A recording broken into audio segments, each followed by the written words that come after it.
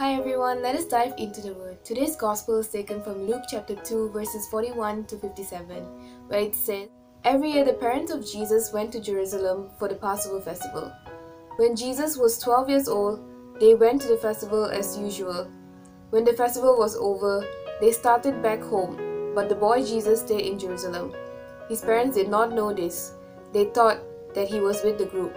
So they traveled a whole day and then started looking for him among their relatives and friends. They did not find him, so they went back to Jerusalem looking for him. On the third day, they found him in the temple, sitting with the Jewish teachers, listening to them and asking questions.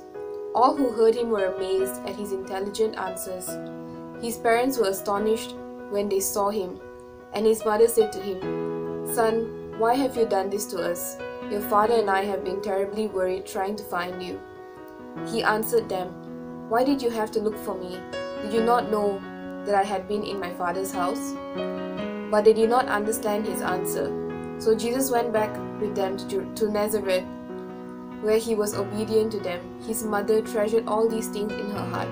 In verse 49, we see you know, Jesus saying to his parents, why, why did you have to look for me? Did you not know that I was in my father's house? And I really just want to stress on on Jesus saying, My Father's house. Because Jesus refers to God as his Father.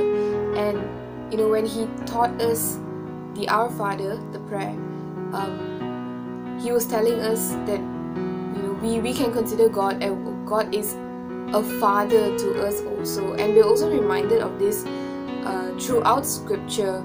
Uh, one example would be in John chapter 1, verses 12, it says, but as many as received him, to them he gave the right to become children of God, even to those who believe in his name. And I think it just reminded me that, um, you know, as kids um, growing up, we knew that our parents were responsible for providing us with shelter, with food, with our basic necessities. And as kids, we knew that we were supposed to respect and obey our parents. So, as children of God, I feel like the same rules should apply. Um, but more often than not, no, we we tend to only ask God and we expect a lot of things from Him because He's our Father. But we we fail to see that you know, in return we're supposed to respect and obey His word. So if Jesus, as this 12-year-old boy, uh, already knew his father's will and he did his father's will, then I think we as adults should look at him as an example, you know, at this 12 year old boy as an example of how we too need to do the father's will. Have a blessed day, dear brothers and sisters.